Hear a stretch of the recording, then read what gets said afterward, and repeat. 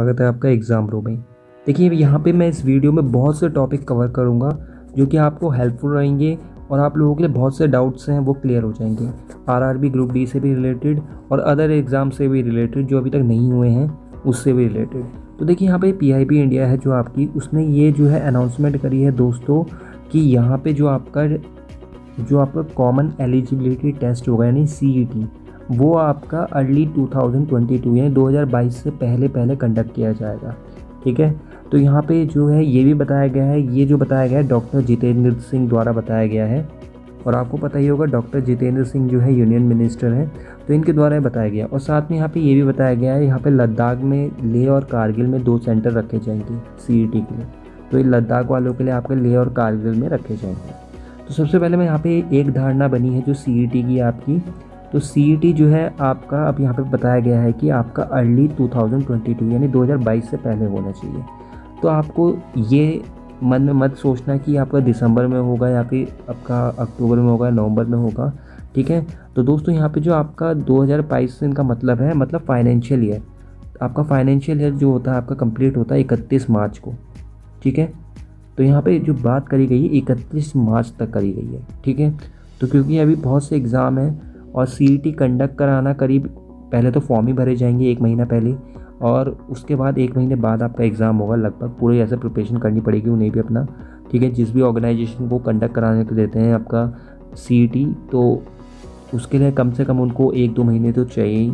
और यहाँ पे आपका जो आप लोग देख सकते हैं तो यहाँ पे जो सीधा सा मतलब है, इससे आप लोग मत घबराना कि अर्ली 2022 इसका मतलब ये है, आपका जो फाइनेंशियल ईयर है, यानी इकतीस मार्च 2022 तक। ठीक है, इससे पहले हो जाएगा आपका एग्ज़ाम, हो सकता है जनवरी में हो जाए, फरवरी में हो जाए, ठीक है? तो यहाँ पे ये बात रखी गई है। अब यहाँ पे बहुत से डाउट ये हैं कि जो आपका सी है, इसका सिलेबस क्या है? तो दोस्तों, इसका अभी कोई ऑफिशियल सिलेबस नहीं है, ठीक है? तो आप लोग मत करना इसका सिलेबस के पीछे मत घबराना कि इसका सिलेबस क्या है पैटर्न क्या होगा इसका। तो अभी तक इसके बारे में कोई जानकारी नहीं दी गई ऑफिशियली जो आपको और जगह आपको यूट्यूब में और अदर साइट में आपको मिलेंगी, वो सब झूठी हैं, ऐसा कुछ नहीं है, ठीक है? फेक हैं वो सब तो उनके चक्कर में मत रहना इस, इसलिए, क्योंकि यहाँ पे भी सिलेबस ही नहीं डिफाइन किया गया है, ना पैटर्न बताया गया तो आप लोगों को कैसे पता चल जाएगा?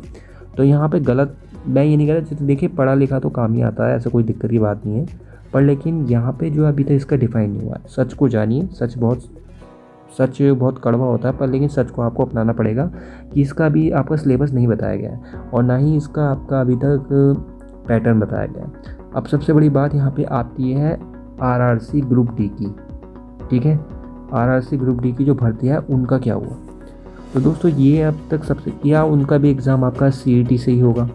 अब सबसे बड़ी जो दिक्कत है, वो ये है कि क्या कॉमन एलिजिबिलिटी टेस्ट के ज़रिए ही आपका, जो आपके रेलवे की भर्तियाँ आई हैं ग्रुप डी की 2018 में 2019 में आई थी जो कि तो 2019 में जो आई थी वैकेंसी उसके लिए आपका क्या सी होगा? 2021 में। तो दोस्तों, मेरा, हमारा जवाब है नहीं, बिल्कुल नहीं होगा, हंड्रेड परसेंट नहीं होगा। क्यों नहीं होगा? क्योंकि दोस्तों, यहाँ पे जो आपका है, ये जो R R P R R C group T है, ये आपका एक पहले ही डिफाइन कर दिया गया है नोटिफिकेशन में कि ये आपका, कि इसका एग्ज़ाम आपका सी टी द्वारा नहीं होगा। क्योंकि ये 2019 की वैकेंसी है और ये जो सी टी एग्ज़ाम्स होंगे, वो 2022 से जितने भी एग्ज़ाम होंगे, उन पर लागू होंगे। तो ये तो वैकेंसी आपकी 2019 की है, ठीक है? और आप एनटीपीसी की बात करें एनटीपीसी का आपका अभी ऑन गोइंग प्रोसेस चल रहा है, ठीक है? तो अभी टायर टू होगा उसका सी बी टी टू होगा, जब भी होगा पहले तो रिज़ल्ट आएगा। तो यहाँ पे ये आपकी, इस चीज़ का आपको घबराना नहीं है, ठीक है? तो यहाँ पे आप लोग देख सकते हो। तो यहाँ पे सबसे बड़ी बात यही है कि आपकी जो R R C group D है, उसका एग्ज़ाम सी ई टी से नहीं होगा। बहुत से ऐसे कह रहे हैं यूट्यूब पर चैनल चल बातें हो रही हैं कि आपके एग्ज़ाम जो होंगे सी के द्वारा होंगे, ऐसा कुछ नहीं होगा।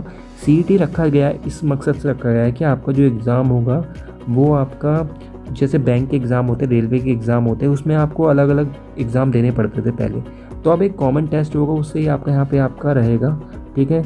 कॉमन टेस्ट होगा, कॉमन एलिजिबिलिटी टेस्ट रहेगा। इससे एडवांटेज ये मिलेगा कि आपको कई एग्ज़ाम नहीं देने पड़ेंगे।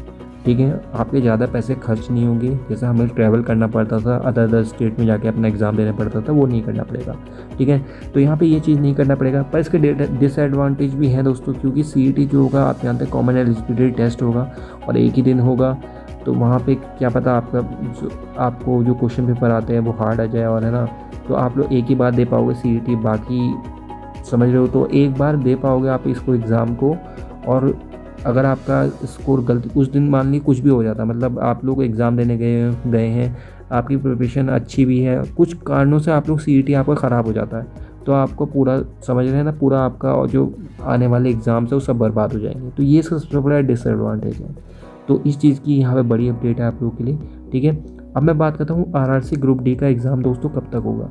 देखिए, ये तो रेलवे की नाकामयाबी है कि वो इस बारे में कोई अपडेट नहीं दे रहा कि कब तक इसके एग्ज़ाम वो कराएगा, ठीक है? क्योंकि आरआरसी के मामले में तो रेलवे ने चुप्पी ऐसी साधी है। अगर हम ट्विटर कम्पेक चला रहे हैं, सब जो यूट्यूबर हैं, सब मिलके जो हम, हमारी जो यूनिटी है सब, सबकी, जो रेलवे के अभ्यर्थी हैं, सब मिलके जो ट्रेंडिंग पे ला रहे हैं, ट्विटर पे भी, उस पोस्ट को भी डिलीट कर दिया जा रहा है। आपको जैसे पता ही चला होगा, अभी हाल ही में। तो ये सब चीज़ें हो रही हैं। आर बिल्कुल चुप्पी साधे हुए इस पर तो तो इसके लिए बहुत ज़्यादा कदम उठाए जा रहे हैं। तो एक बहुत ही अच्छा यूट्यूब चैनल है, जो कि जिसमें आपके, आप जानते ही होंगे, उमंग स्टडी करके हैं। तो ये वाले जो सर हैं आपके आर ग्रुप डी का एग्ज़ाम डेट का, पीसफुल प्रोटेस्ट करा रहे हैं, शांतिपूर्ण धरना करा रहे हैं। इस वीडियो को आप लोग देख लीजिएगा, ठीक है? तो यहाँ पे इन्होंने सर ने बताया कि आप लोग कैसे प्रोटेस्ट कर सकते हो इसके लिए, अपने एग्ज़ाम्स के लिए। तो अब अब आप लोगों के हाथ में ये है, आप लोगों को पीसफुल प्रोटेस्ट करना है। कोई आपको मतलब बिल्कुल शांतिपूर्ण तरीके से आपको प्रदर्शन करना है, ठीक है? तो ये वाले जो सर हैं, उमंग सर हैं, उन्होंने उमंग स्टडी सर हैं, उन्होंने बताया है कि शांतिपूर्ण तरीके से आपको ये प्रोटेस्ट करना है, ठीक है? इस वीडियो को देख लेना वीडियो के डिस्क्रिप्शन में मैंने लिंक दे रखा है पूरा। कोई ज़बरदस्ती मत करना वहाँ पे। शांतिपूर्ण तरीके से आपको करना है। संडे सॉरी मंडे को आपको करना है ये प्रोटेस्ट तो पीसफुल तरीके से सर एक कोशिश कर रहे हैं इसको करवाने की आपके एग्ज़ाम को ठीक है?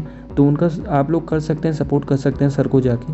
तो यहाँ पे जो मैंने अपने चैनल पे आ, उनकी ये जानकारी दी है कि आप लोग यहाँ प्रोटेस्ट कर सकते हैं चाहें तो। अपना एग्ज़ाम करा लीजिए क्योंकि हक है आपका। ग्रुप डी के एग्ज़ाम में बहुत देरी हो चुकी है विलम्ब हो चुका है।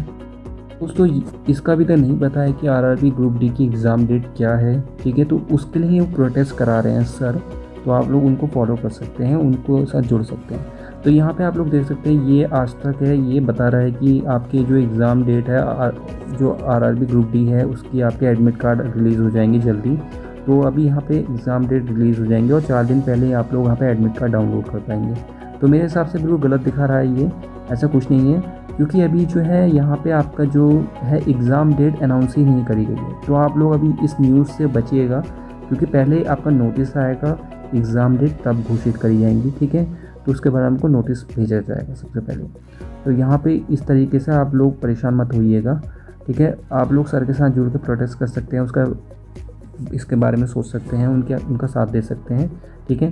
तो यहाँ पे इस तरीके से आप उनका साथ दे सकते हैं, उनकी शांतिपूर्ण तरीके से आप लोग वहाँ पे धरना दे सकते हैं, जैसा भी वो बताएँ। वहाँ पे उस वीडियो में उन्होंने सब बता रखा है, उसको बता, उसको देख लीजिएगा ज़रूर, ठीक है? तो आशा करता वीडियो अच्छी लगी होगी। इस तरीके की और वीडियोस पाने के लिए चैनल को सब्सक्राइब करें। जुड़े रहें हमारे चैनल धन्यवाद।